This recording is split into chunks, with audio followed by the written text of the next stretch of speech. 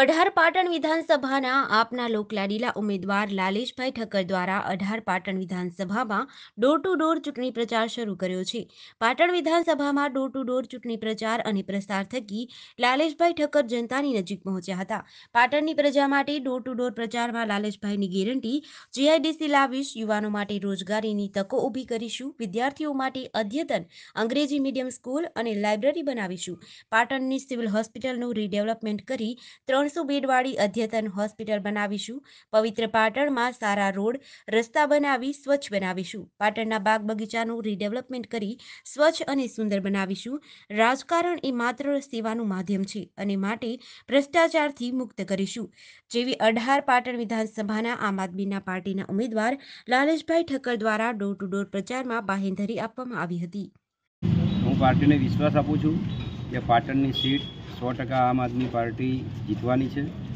અત્યારે જે પ્રમાણેનો પાટણમાં માહોલ છે એ પ્રમાણે મને સંપૂર્ણ વિશ્વાસ છે કે આમ આદમી પાર્ટી જીતશે અને પાર્ટીએ મને ટિકિટ આપી છે. એ બદલ હું પાર્ટીના સંયોજક અરવિંદ કેજરીવાલજી અને સમગ્ર પાર્ટીના તમામ હોદ્દેદારોનો આભાર અને જનતાનું કેવું સમર્થન મળી રહ્યું છે ડોર ટુ ડોર પ્રચાર હું ડોર ટુ ડોર એક મહિનાથી પણ વધારે સમયથી ફરી રહ્યો છું. આ વખતની ચૂંટણી કોઈ પક્ષો વચ્ચે હોય એવું મને લાગતું નથી. ગુજરાતની સાડા છ કરોડની જનતા આ વખત ભ્રષ્ટાચારની સામે ચૂંટણી લડી રહી છે, આ વખત મોંઘવારી સામે ચૂંટણી લડી રહી છે.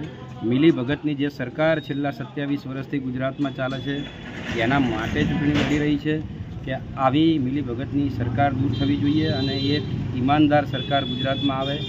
ડબલ એન્જિનની સરકાર જે વાત થઈ રહી છે, એ ડબલ એન્જિનની વાત પ્રજા પણ એવું સ્વીકારે છે કે એક એન્જિન કામ ના કરતું હોય તો જ બાજુમાં બીજી એન્જિન રાખવું પડે.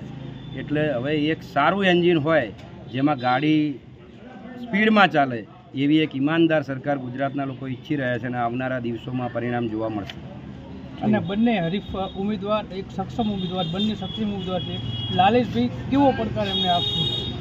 અત્યારે મેં જ્યારે કહ્યું ત્યારે જે બંને પાર્ટીઓ સામે છે એ બંને પાર્ટીઓની જે દાખલા તરીકે હું તમને કહું કે આ દસ દિવસની અંદર કોંગ્રેસના પાંચ ધારાસભ્યો વારાફરતા એક એક કરી અને ભાજપમાં જોડાયા. એટલે ભારતીય જનતા પાર્ટીને વોટ આપો કે કોંગ્રેસને વોટ આપો? બધું એક જ છે. ત્યાં બે ખૂટે એટલે અહીંયાથી ચાર ફોરવર્ડ થઈ જાય.